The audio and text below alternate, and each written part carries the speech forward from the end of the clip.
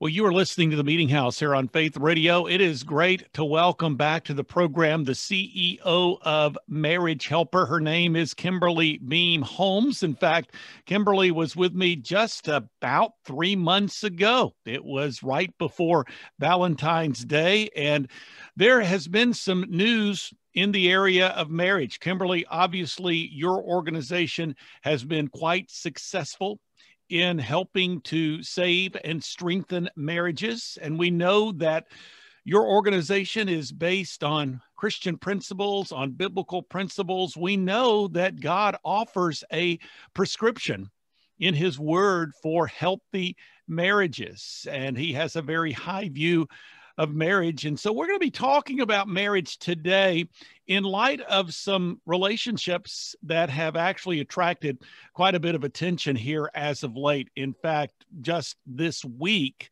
there was the announcement that came down from Bill and Melinda Gates. Of course, Bill Gates and his ingenuity touches so many lives every day. Uh, in fact, because of Bill Gates, this computer that I'm using right now to actually do this interview is a product of the company that he launched. Well, not only is Bill Gates known for his work, his inventiveness with respect to Microsoft, but he and his wife Melinda have the Bill and Melinda Gates Foundation, and they issued a joint statement. There was an article that ran on FoxNews.com, and embedded within it was their statement.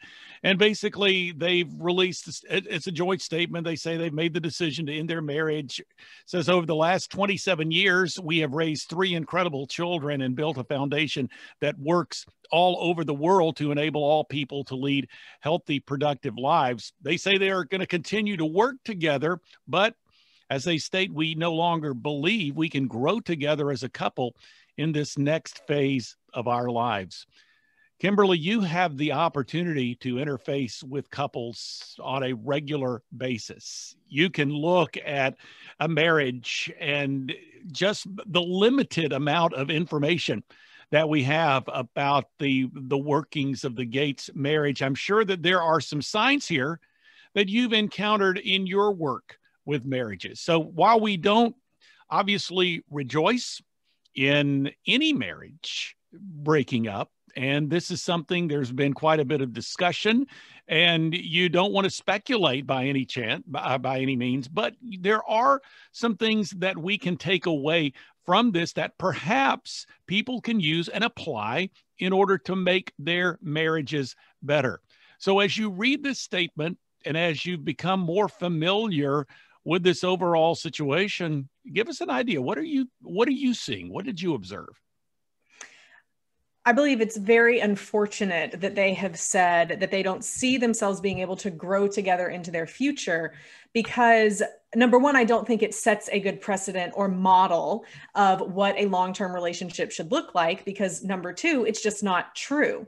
Couples can live and grow and continue to grow together for decades until until death do us part as it should be and so to say that that we just don't see ourselves growing together I believe is I don't think it's the true story, but I also don't think it's the example to set. I I believe what has happened is that this divorce, this split and separation is more than likely the result of their very sex, sex, their very successful lives and careers. For the past 27 years of them being together, Microsoft has grown the Bill and Melinda Gates Foundation. And while you could say they did that together, they still were focusing on their own interests, their own things. And what we know from research is that when couples do things that that take them apart from each other, only focusing on their interests, their work, their careers, then it will take them apart. And unless they're intentionally doing something to bring them back together, having a shared mission, a shared value, then couples can kind of wake up, so to say, one day, especially after the kids have left the house, they're entering into a next chapter of life, and then look back and say, I don't know that I even know who you are anymore. I don't even know that I like you. Maybe we would be happier apart but they're never actually happier apart. Maybe in the short term, but the best thing they could do is work on the relationship, recommit to being committed, and do the things that will bring them back together in order for that fulfilling, long lasting marriage. Well, let me ask you this. Someone might say, okay, so you talk about working on a common interest together. We've got a foundation and we are doing it says that uh, this foundation is working all over the world to enable all people to lead healthy productive lives. It sounds like a pretty significant uh, common interest that they are are, uh, are, are pursuing. You're right. It absolutely does. The question is are they actually working together in it? Mm. and at times we've seen i mean he i know has been gone for months at a time she the same months at a time doing specific parts of that work. And so while i think in theory doing something like this will give couples and can give couples that shared value the point is they actually have to do it together and not just as a business they need to do it together because that is what they want to do because they like being around each other because they want to share their gifts and god-given skills and talents with the world. That is a key difference that that is made here. I'm not so sure that they have been doing it in that way. I think it's been more of a business relationship like they've been focusing on. And it does seem like it's almost confused in a sort in a, in a sort of way in that they're saying well we can keep doing this. We can keep pursuing the mm. work of the foundation. We're going to continue our work together as this statement says. It almost sounds like that well you know we're in this business and the business of the foundation and the business of marriage are kind of interchangeable and almost you know overlapping to to some degree but that's marriage is not a business relationship. There's a there's a distinct difference isn't there there is. And people often underestimate the negative consequences or effects that divorce is going to have on themselves, on their family, on society as a whole. And they overestimate their ability to get along post divorce. What we know from research is that after a divorce happens, people, the people who've experienced, have 188% increase in likelihood of depression. Their hmm. social circles begin to divide and split and that even when children are grown there is still a negative effect on children when their parents divorce. Now yes their children are grown but now what's going to happen with this divorce is grandchildren are going to have to experience the divorce of their grandparents any future weddings that might happen. There's going to be two so to say two sides of the aisle. It adds this level of stress that no one wants what I believe we're going to see is number one, let's remember if the relationship is so broken that they are divorcing, then the relationship is broken and it will be broken in a boardroom or it will be broken in a bedroom. But there's no difference. The relationship needs to be healed and fixed. The second thing that we need to see here is that we're going to see the effects of divorce on an incredibly large scale. I mean, we every person will experience this, but with hundreds of billions of dollars and 200,000 acres of land, then we're 1,600 employees. There's going to be an effect. We may never see it because it may be concealed, but I can guarantee you that this will change their legacy and the ability that they did have to impact people going forward.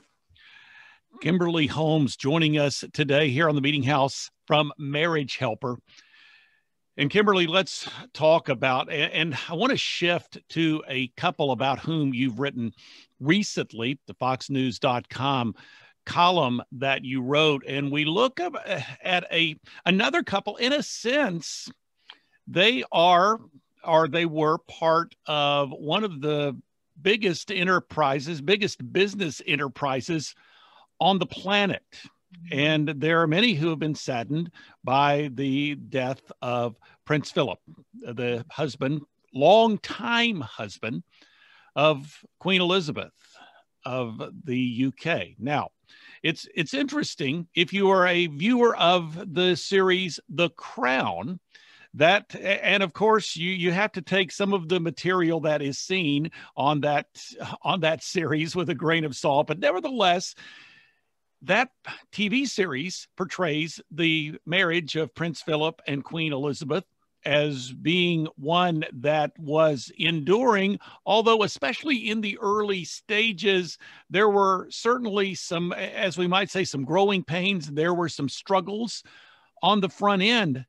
Nevertheless, here is a couple that, upon his death recently, and they were married for quite some time 70 over years. 70 years. Mm-hmm. So, so you look at that there had to be in the fiber of that marriage, there had to be some principles by which the two of them mutually agreed to abide that contributed to the longevity of this marriage. So again, going back to some of your observations, and of course, you've you've mentioned research. I know that's a big part of what Marriage Helper does. So, what have you observed about this marriage, which is really a, a testimony to people all around the world.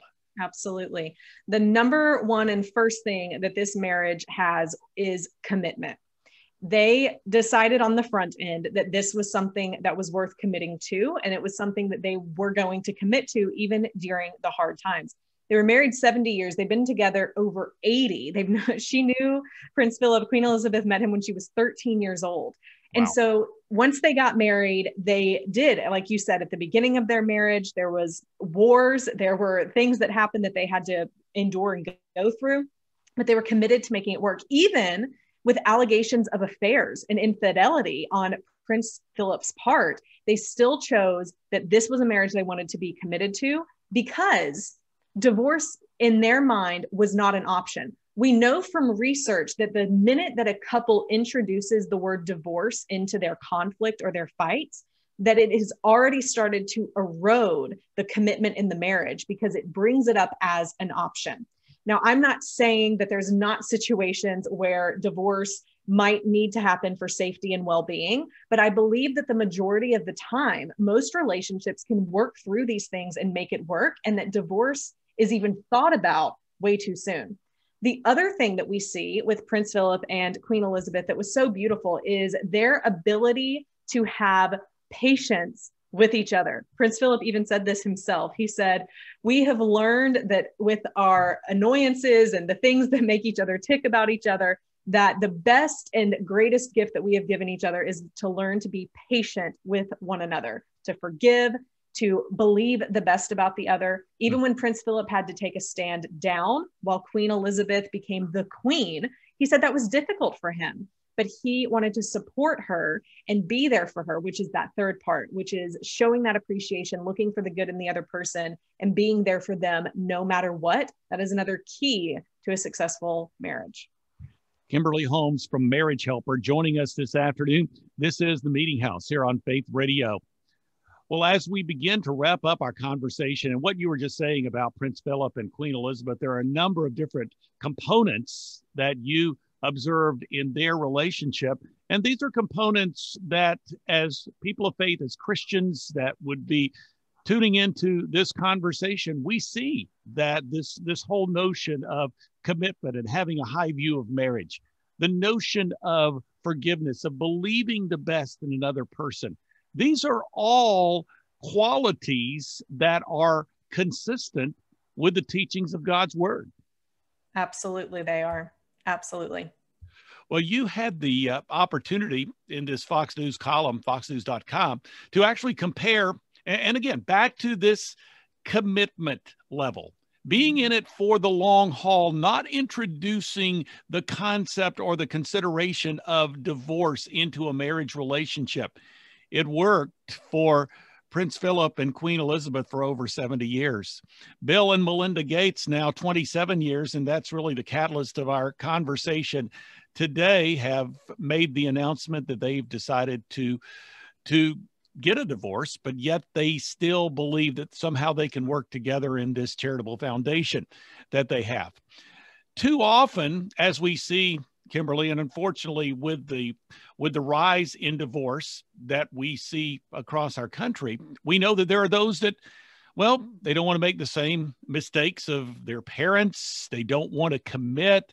They are afraid, perhaps, that if they enter into a marriage relationship, which is, as I contend, it's a building block of a stable culture So you have a disturbingly strong rise in the the number of couples that are in unmarried cohabitating relationships. And so you compared the the the prince and the queen to a high profile couple that also has been going through their their share of travail. They are not a married couple, but they kind of think they are.